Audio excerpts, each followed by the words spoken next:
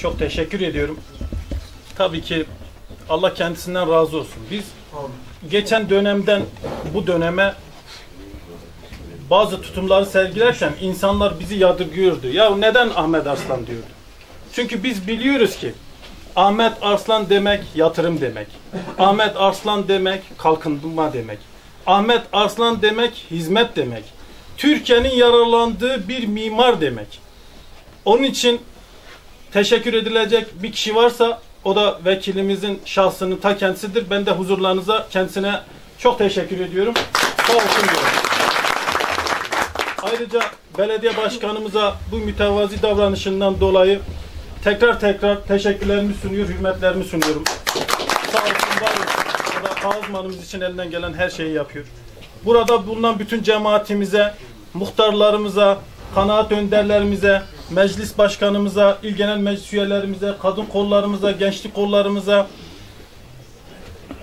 köylerden gelen, mahallelerden gelen bütün hemşerilerimize, hepinize ayrı ayrı teşekkür ediyorum. Bizleri onure ettiniz. Allah hepinizden razı olsun. Allah birlik beraberliğimizi daim etsin inşallah.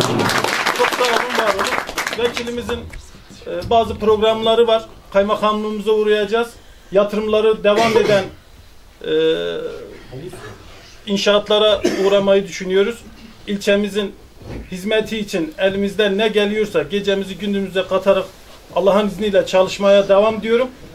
Ee, şu an için bir 20 dakikalığına buradayız. Eğer bir sıkıntısı, sorunu ya da vekilimizle paylaşmak isteyen e, bir abimiz, kardeşimiz varsa e, şu an için buradayız. Hepinize ayrı ayrı saygılar sunuyor, hürmetlerimi sunuyorum. Çok sağ olun, var nezaketini göstererek bu ilçenin belediye başkanı olduğunu ortaya koyarak parti ayrımı yapmadan ilçeyle ilgili ne zaman, nerede, ne iş olursa bizimle birlikte koşturuyor, koşturmaya devam ediyor.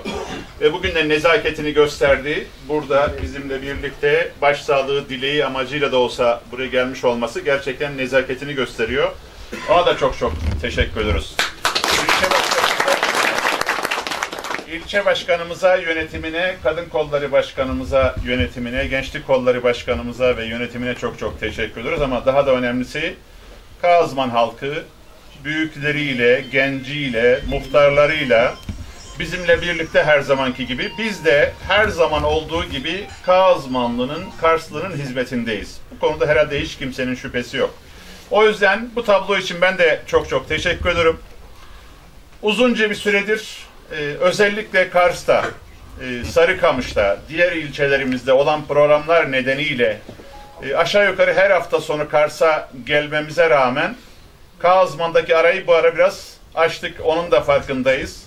Ve bugün özellikle Kazman'a gelip Kazmanlarla hasbihal etmek ve Kazman'da yaptığımız projeleri bitmek üzere olan, devam eden ve planladığımız projelerle ilgili de arkadaşlarımızla birlikte ilçe başkanımızla, encümenimizle birlikte, kaymakamla da bir araya gelerek Kazman için neler yapıyoruz, neler yapacağız, onların da planlamasını yapmak için bugün uzun soluklu bir şekilde inşallah burada bir çalışma yapacağız.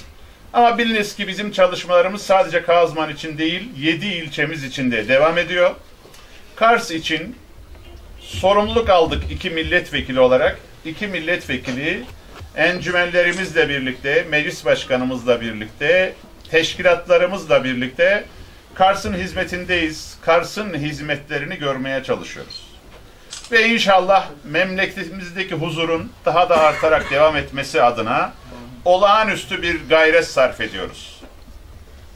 Ve biz daha önce de söyledik, dün Sayın Başbakanımız da açıkladı. Ülkemizde insanımızın huzuru her şeyden önce geliyor. Eğer huzur yoksa, eğer kardeşlik yoksa, eğer birliktelik yoksa yaptığınız hizmetin de bir kıymeti yok. Kardeşliğiniz, birlikteliğiniz olmalı ki insanlarımız da hizmetin tadını çıkararak hizmetten yararlansın. Ne yazık ki etrafımızda bir ateş çemberi var. Bu ateş çemberiyle birlikte dünyadaki bütün oyuncular Türkiye üzerinde oyunlar oynuyorlar. Ve yine ne yazık ki bazı insanlar buna maşa oluyor. Ama Allah insanımızdan razı olsun. İnsanımız diyor ki bin yıldır bu coğrafyada biz kardeşliğimizi ortaya koyduk. Yine koyacağız.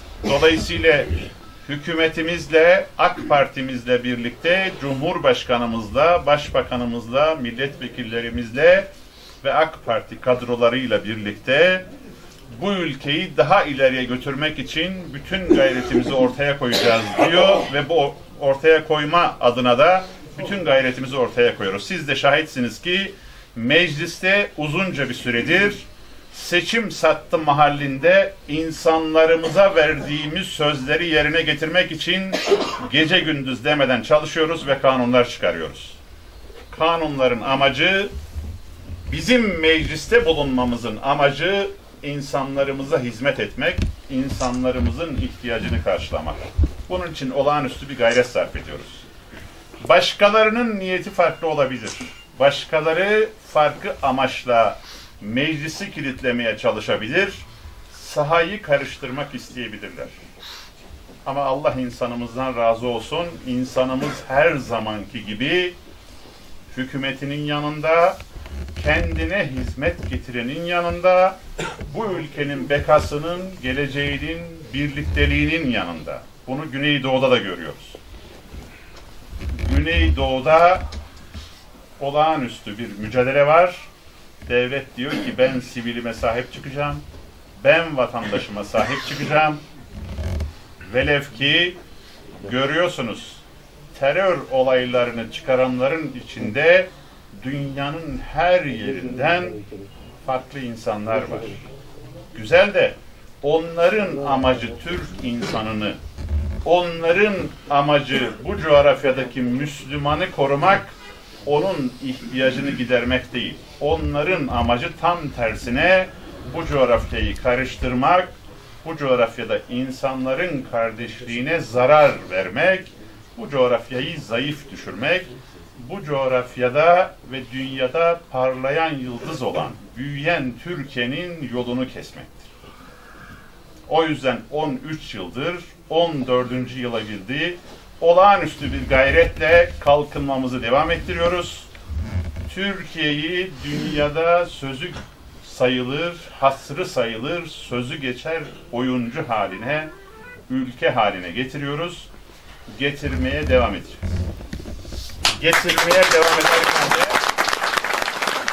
getirmeye devam ederken de elbette ki halkın oylarıyla ilk defa halkın oylarıyla seçilmiş olan doğal liderimiz, tabi liderimiz, Cumhurbaşkanımız Recep Tayyip Erdoğan'la birlikte yapacağız. Elbette ki sizlerin olağanüstü desteğiyle tekrar tek başına iktidar ve bu ülkede istikrarı getiren AK Parti hükümetleriyle Ahmet Davutoğlu'yla onun kadrolarıyla getireceğiz. Ama elbette ki ve de en önemlisi insanımızın desteğiyle getireceğiz. İnsanımızın desteğiyle getirmeye çalışıyoruz. Biz arkamızdaki gücü biliyoruz.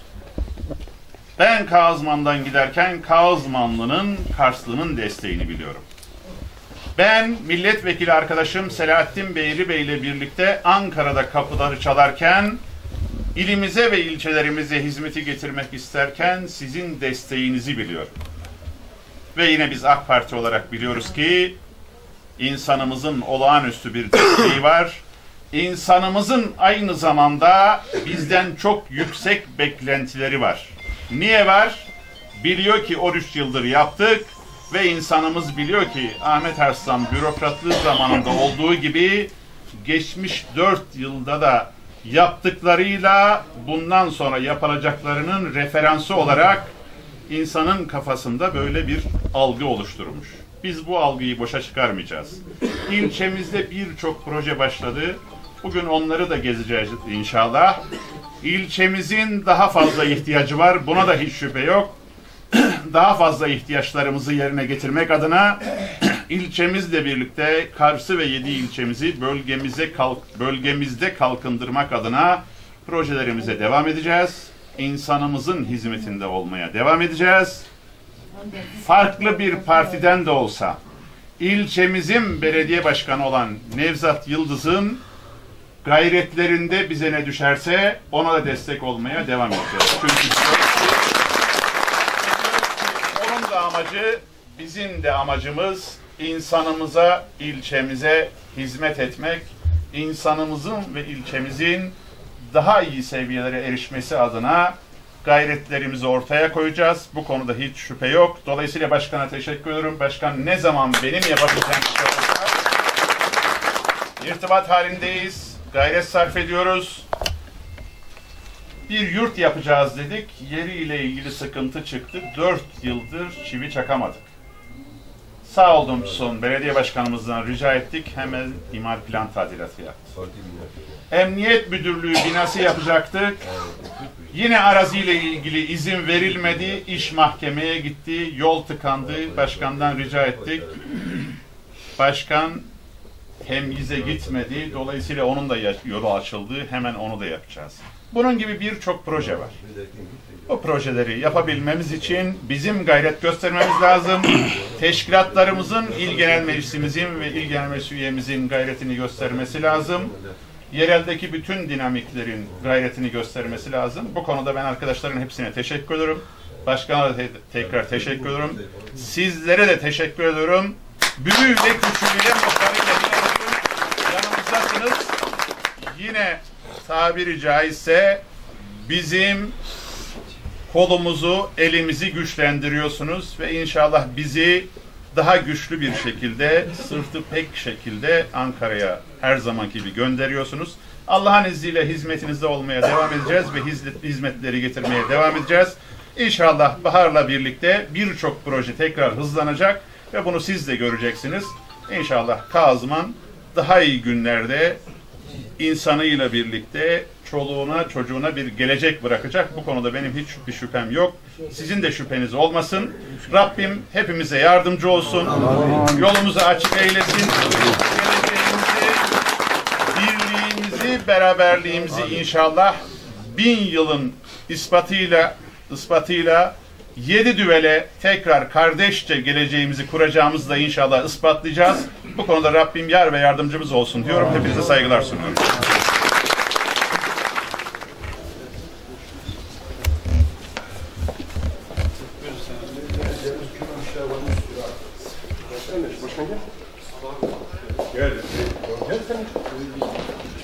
Çarem siz olduğunu biliyorum.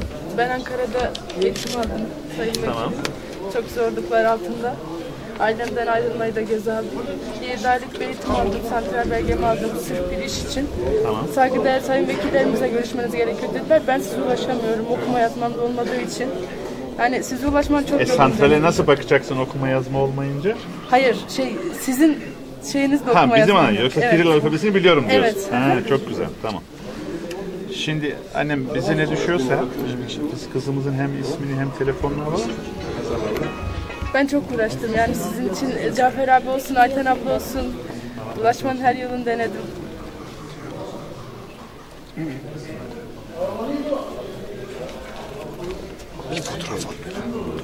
İsmini alabilir miyim? Büşra, Büşra Taper. Toper. Büşra ne, ne kursu aldın? Ee, İlkokul belgesi aldım. Onu almadan santral olmadı. Sonra da özel eğitim. Ankara Yeni Mahalle Bir de Gönüllü. santralle ilgili ben Evet, belgem var. santral belgem var. Başarı belgem var. Santral belgem var. Evet, Yeni mahallede mi eğitim aldın sen? Evet. Özel eğitim. evet. Şu santral belgesiyle ilgili bir sene düşerse Büşra. Şimdi bir de kameraya te- telefon söyleyecek.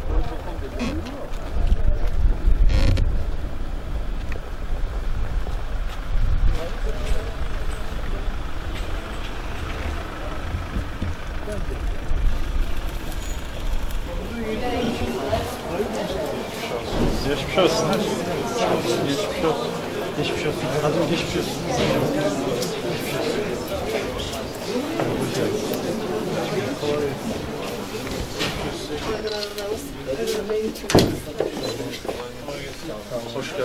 Sahibi uzmanımız Sayın Bey. Burası, Lakin bura uygun. Şurada ya doktorlardan ya hemşirelerden biri önde. Selamünaleyküm. Geçmiş olsun. Selam, hoş geldin Allah Nasılsın? Babana rahmet. Geçmiş olsun. Nasılsın? İyi misin? İyiyiz Allah'a şükür. Hayırdır inşallah. Allah şekerim var hocam. Dikkat etmiyorsun. Vallahi de şekerimiz var. Yemek yemek kaçırma olur bizim de. Kaçırmasan daha iyi. Daha iyi olur. Böyle üç gün hastanede yatıp nasıl olsa iyileştim deyip gidip boş vermemek lazım. Valla hoca bakıyor Allah razı Allah razı olsun. olsun. Hoca bize bakıyor Allah razı olsun. Hoca bize bakıyor. Biz Allah razı hocamızdan memnun Allah razı olsun. Var mı isteğiniz? Yok sağ ol. Teşekkür ederim. geçmiş Allah olsun. razı olsun. Geçmiş olsun. Geçmiş olsun. Teşekkür ederim. Allah şifa versin. Cümle hastalara. Bakıyorlar mı yoksa? Evet çok bakıyor. Allah razı olsun. Var mı isteğiniz? Sağ olun. Peki Allah razı olsun. Rabbim şifa versin. Geçmiş olsun. Çok teşekkür ederiz. Allah razı olsun. Sağ olun. Razı olsun. Allah Ee, onlar farklı. Yani zaten yaralardan dolayı yatırılmış da kendi gözüne has bir özelliği var. Çok geçmiş olsun. Geçmiş olsun. Geçmiş olsun. Size geçmiş olsun. Hayırdır siz niye yatırdınız? Sağ olun, hoş geldiniz. Hayırdır hızlı mı baktınız hastalara yoksa soğuk diye kimse evden mu? Fazla nazar etmeyin bugün sakin Aman. acil. Normalde 200 hastanın Nazar altına düşmüyor değdirmesin. burası. Çok yoğun geçiyor bizim acilimiz. Yani 250-300 hastaya kadar çıkıyor ama bugün çok sakin. Maşallah var. Müşahedede de kimse yok. Evet bugün bayağı bir sakin. Ne hikmetine bilmiyorum ama. Ya da iyi bakıyorsunuz tekrar hasta alıp En gelmiyorlar. iyisi o zaten. Peki kolaylıklar diliyoruz. Sağ olun. İyi çalışmalar. Sağ olun.